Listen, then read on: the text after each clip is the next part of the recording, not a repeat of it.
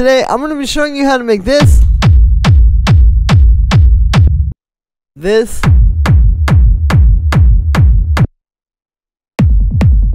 this, and this. I'm going to be showing you how to make every single style of hard techno kick in this video. This is the complete guide, everything you will ever pretty much need to know. Definitely to get started and to just kind of like understand everything. To go with this video, I actually just dropped a new sample pack that could really help you with this style called Hardest Hard Rave Techno Kick and Bass Grooves Volume 1. Link is right at the top of the description on my website. For just $10, you get these 20 kick groups where you can see it's all the individual layers, the kick, the bass of all these very solid kicks. So I'll play these for you.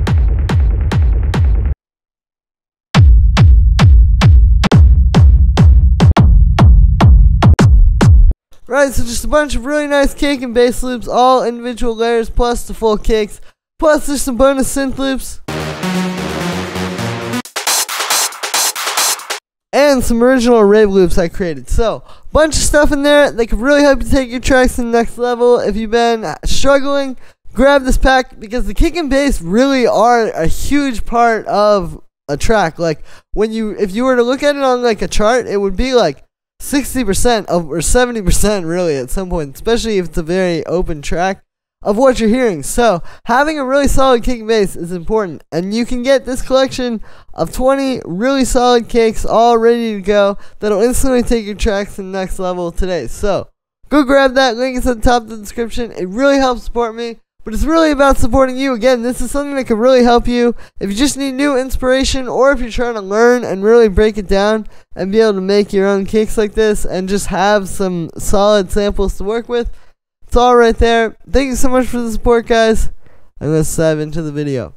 So, the first style we're going to talk about here is actually a pretty simple kick where we're going to have our main kick, right? So this is just two kicks layered together. We have like a a nice low end kick, and then a mid range and high end. You can see I've lined up the transients too. So that's, and then we're just taking that same thing, but we're playing 16th notes.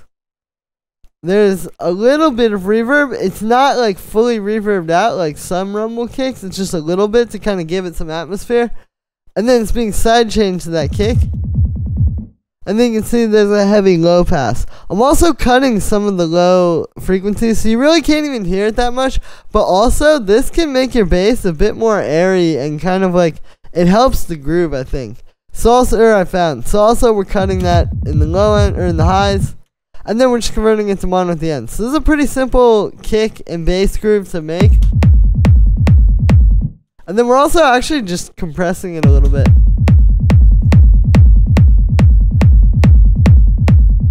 It is a little bit more punchy without this. Maybe we could use a little bit less, but it really helps it just like fill out.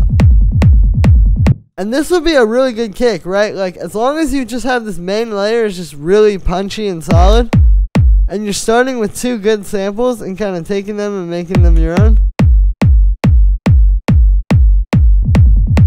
you really can't go wrong. But if you want to go a little bit deeper, there's also this style of kick.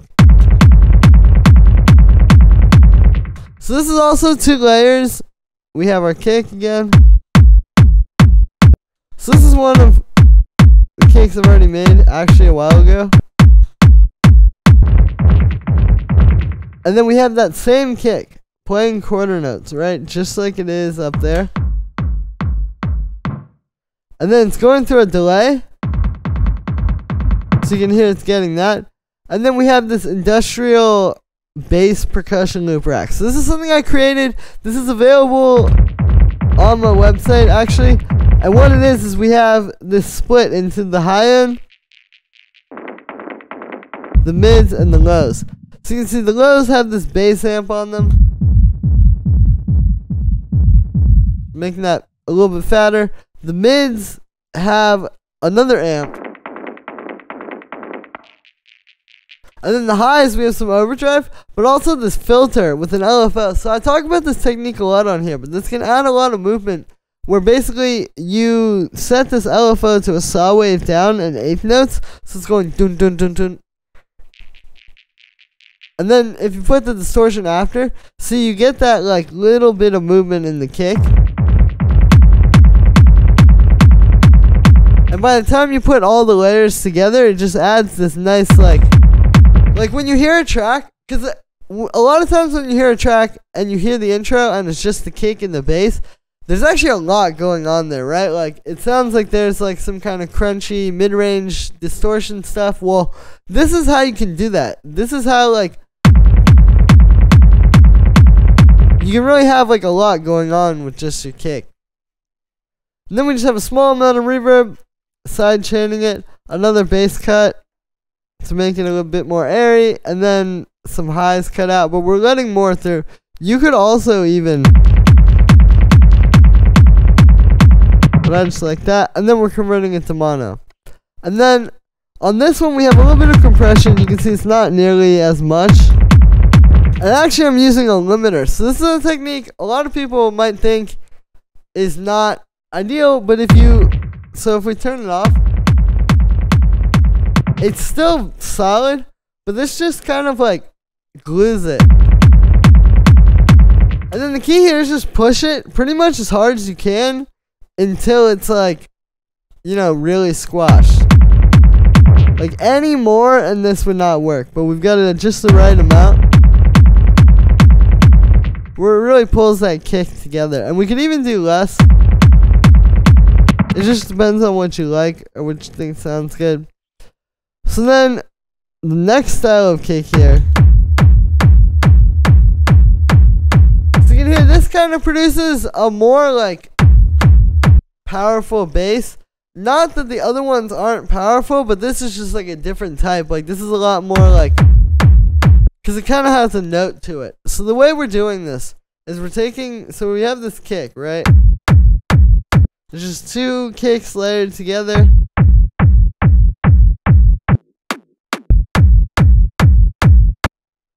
And then we're actually taking the low end layer from that. You can see I stretched the inside of the simpler here. And when you do that, you get like this long pulled out bass note. And then you can actually just pitch it to whatever you want. Sometimes I do it at the same pitch as the kick, but you don't always have to do that because sometimes it's too high. A lot of times you want to just like put it even lower. But this sounded good. Then we're just side chaining it, EQ, and then converting it to mono. Because even if you're not using reverb, sometimes these samples can have weird stereo stuff. And for this bass, you really don't want to have that. So, yeah, you can see this creates a more solid bass. Like, that's just constantly like the same thing, which is good. And you can even combine these too. Like, you know, you can put this together maybe with this well, like just the mids and highs?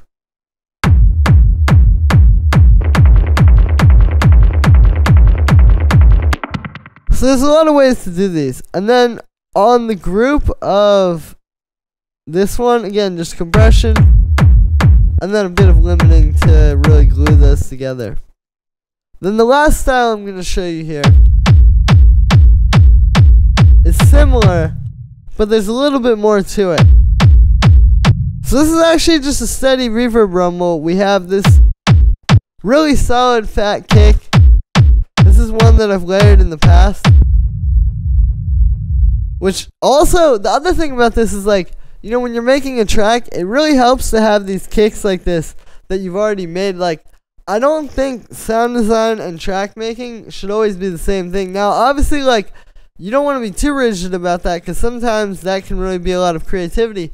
But ideally, like, if you're starting something like this to start a track, you don't want to also be like making the kick from the ground up. Like, do that in another session and then bring it in here, like I've done.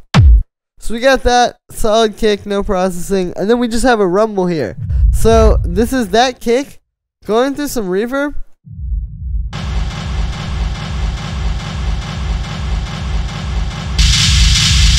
And then this amp, which obviously you can hear, really brings out the low end and converts it to mono. And then we go past it. And then just being sidechain. And then the last step here is I'm actually boosting the bass, but we're cutting at 100 hertz, and that's going to make more room for the kick, because that's where the kick is most prominent.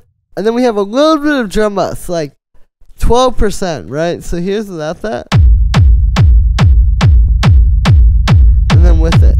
It's the perfect, like, to where it's not too much, but it's also not, like, just flat. And then we have a bit of limiting again. And there it is. So, in 10 minutes, I have now shown you how to make all these different styles of kick. There's a lot of different things you can do. Again, you can combine these. You can do different little things. Hopefully, this inspires you and shows you some different ways to do things a little bit stronger. So, as always, make sure to like this video as well as subscribe and let me know what you think this video in the comments. Like I said in the beginning, you can get the hardest hard rave techno, kick, and bass grooves volume 1. The link is at the top of the description. Don't miss out. You get these 20 kits of bass and kick loops for all of these individual kicks. Again, I'll just play you a few of these. They're super solid.